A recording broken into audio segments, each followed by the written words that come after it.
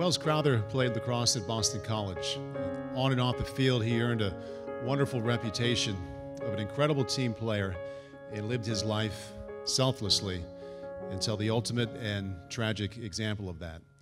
In 2001, Welles Crowther was an equities trader working on the 104th floor of the World Trade Center's South Building.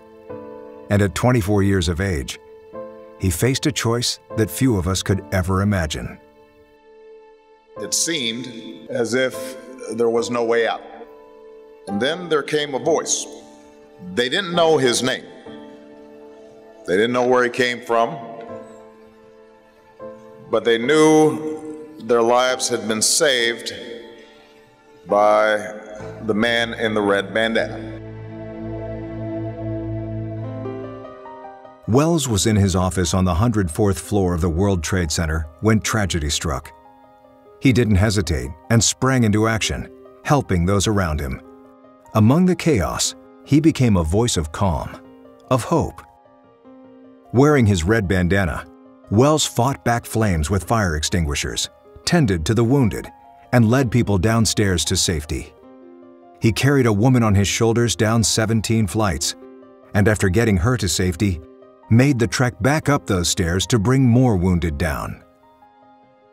On that day, Welles stood side by side with firefighters and gave his last, saving the lives of 18 people who knew him only as the man in the red bandana.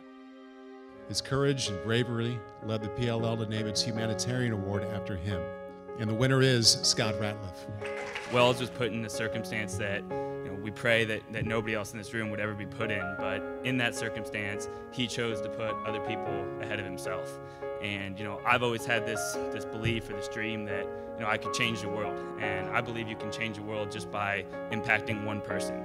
And the way you do that is you put other people ahead of yourselves. And so it's really humbling and it's a really big honor to be up here and to accept this award with, with that name on it. And you know, lastly, I, I do want to thank my parents, um, who are a, huge example for me and you know, have always encouraged me to, to be somebody that put other people first and, and try to follow my dreams and follow my heart. Thank you.